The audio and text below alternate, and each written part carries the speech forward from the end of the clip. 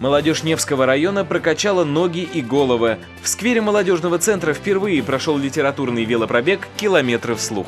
Слова креативные молодые люди решили измерить километрами. Для этого потребовалась слаженная работа в паре. Пока один участник эксперимента крутил педали, второй читал стихи или современную прозу. Принять участие предложили всем желающим. Наш такой слоган сегодняшнего дня «Качай мозг».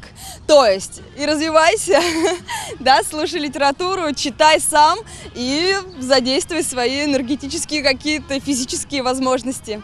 Прибыли на необычный литературный пробег и профессиональные поэты и актеры.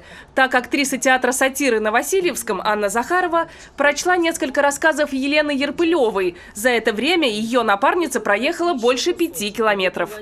Мама усиленно упаковывает бесконечные пакеты и пакетики, мешочки со всякой едой, наливает в сосуды чаи, напитки, пледы и масла от солнца, кремы от укуса.